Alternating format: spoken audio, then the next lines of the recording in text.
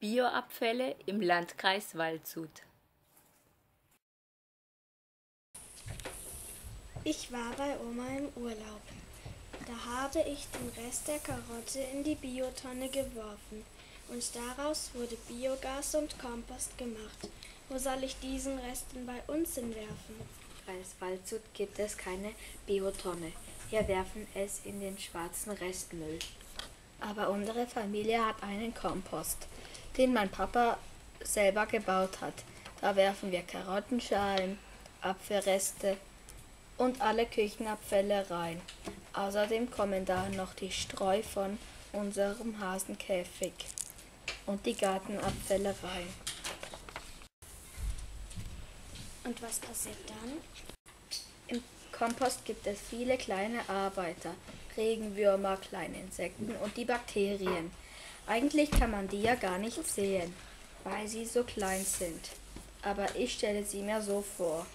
Und diese Arbeiter verwandeln die Bioabfälle in Erde. Mein Papa und ich helfen ihnen ein bisschen dabei, indem wir den Kompost umgraben.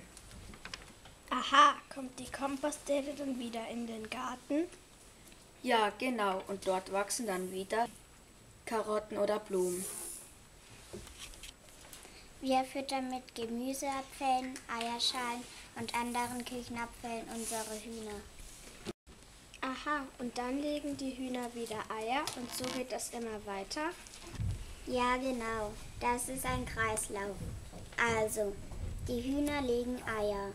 Wir backen damit einen Kuchen. Die Eierschalen und anderes Futter geben wir den Hühnern.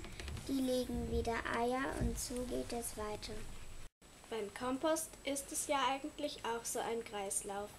Die Karottenschalen werden auf dem Komposthaufen zu Erde und darin können wieder Karotten wachsen.